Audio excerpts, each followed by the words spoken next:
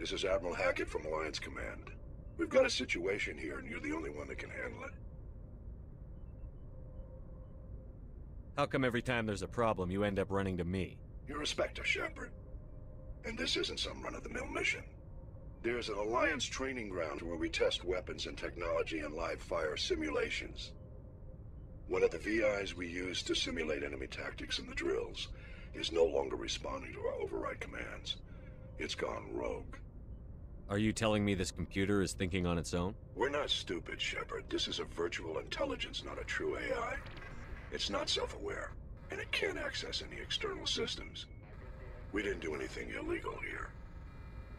Virtual intelligence support is critical to our military success. VIs process thousands of status reports and react in nanoseconds.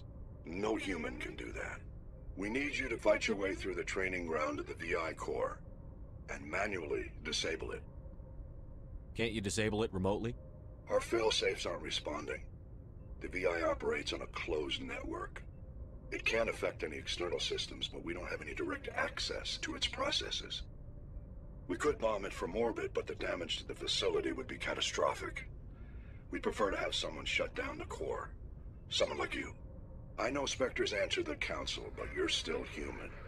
You're still part of the Alliance military, and right now we need you. The VI controls all the facility's weapons, drones, and automated defenses. You're the only one that can pull this off, Shepard. Good luck.